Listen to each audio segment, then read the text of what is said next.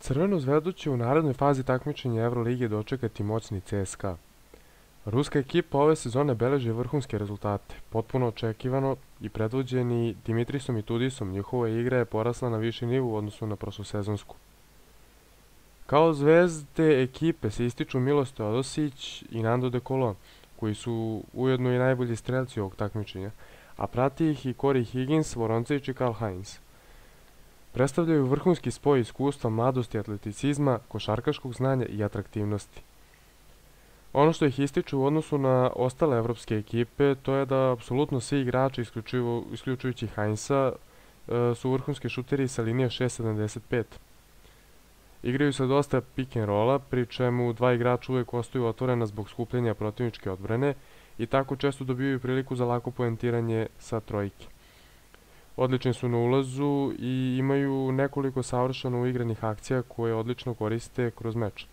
Ali njihovo najjače oružje je ono čega bi svaki protivnik trebao da se čuva, to jeste furiozan start utakmice. Spremni su da u prvih 5 minuta svakog rivala unište jakom odbranom i brzom igrom.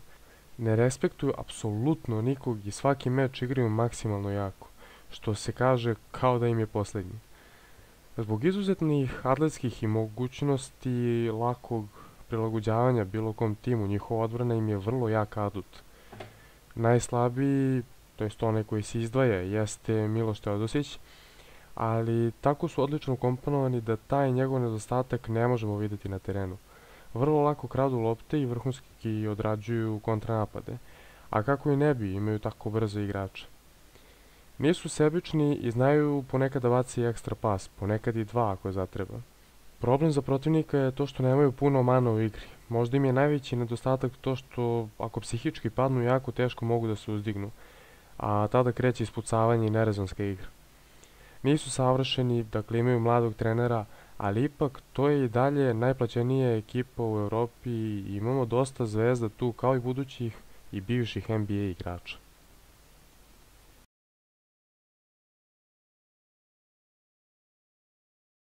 Košarkaški Ronaldinho uprosti svaku akciju svojom visinom.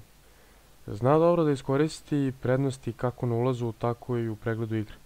Ima malo više slobode od Dekoloa, to jest malo više kreacije. Ono što je zanimljivo, to je da ima odlične procente šuta za 3 poena, a za 2 je oko 50%. Jedini meč koji su izgubili kod kuće Teo je podbacio sa 0-4 za 3 poena i to protiv Daruša Faki. On jednostavno ostatak ekipi čini boljim, teško da bi Heinz, Voroncević, Higgins i tako dalje, ostali igrači imali ovakve brojke da nije njega. Nađe ih ispod koša na 3 poena svugde gde treba. Ako ne može da ih nađe, on izmisli poen. Dobro vrti pik, dobro radi sve i pick and pop i pravi je vođa na terenu.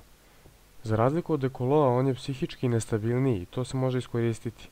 Ako ga ne ide, vidi se jasno nervoza, a Euroligu nikad nije osvojio, pod pritiskom je i to će mu možda biti motiv, ali i vreme na leđima. Jasno da mu je odbrana slabiji deo igre, ali mogu ga lako sakriti protiv nas na Laziću i Joviću, donekle.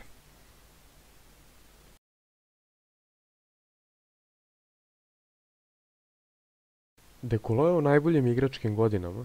Prvi strelac tima, drugi asistent, može lako 1 na 1 završiti napad. Ima strašno velik košarkaški IQ i to se vidi u svakom njegovom potezu. Svaku situaciju odlično čita, zna jako brzo da krene na ulaz iz tranzicije, ali jako brzi pik. Nando De Colo zna da pročita lako odbranu protivničkog igrača i ima jako dobar ulaz. Kod ulaza zna ramenom da napravi prednost, teško ga je blokirati, ali zna i da stane na 3-4 metra i lako završi šutno sa polu distance. Ubedljivo najbolji čitač protivničke odbrane, posebno 1 na 1.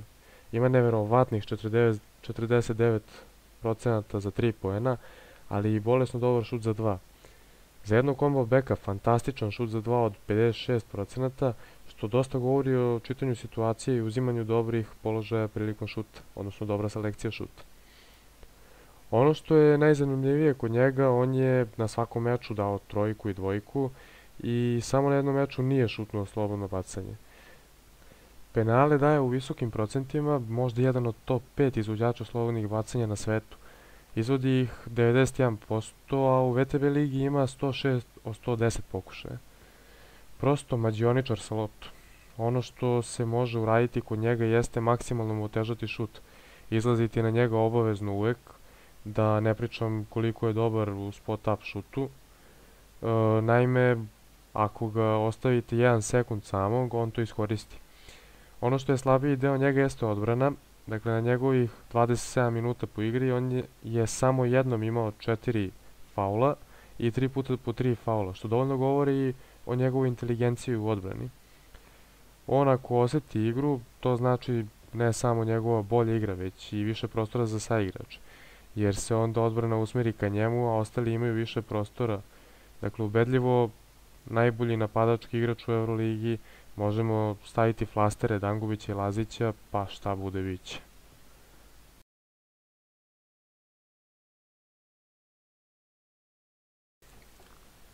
Već 9 godine u CSKA, ali ovo mu je sezona karijere. Igra odlično, ima 40 od 82 za 3, posebno zadnje mečove igra dobro, gdje je na 16 poena. Ima odličan šut iz pick and popa iz tih spot-up situacija. E, većina šuteva mu ide i preko ruke i u ranoj fazi napada zna da šutne bez problema i nije ga strah nikad. Poprilično pokretljiv za svojih 207 cm, može na 3 i 4. Prilično dobro kretanje ima, iako ne izgleda tako. Što se tiče šuta, pogađa i sa distance i za 3 kad ostane sam.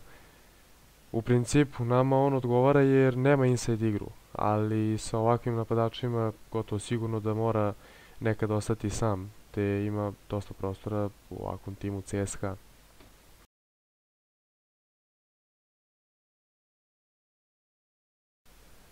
Heinz ili ti zver ispod koša.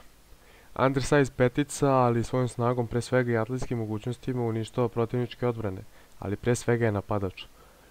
Uh, okrenut ćemo se ka defanzivi, dakle odličan je defanzivac, odlično gradi obruč, loptu, veoma je brz, stiže, sve, ima osjećaj za krađu, ali zna i da lupi blokadu i teško ga je pomeriti iz težišta. U napadu odličan, u pick and rollu, zna da napadne i licem prema košu, ima dobar ball handling za svoju visinu ili ti da kažem sirovost. Ono što mu jeste mana jeste visina sigurno, ali šut s polja. Mada je i to popravio, pa šutira oko 64 sa bacanja.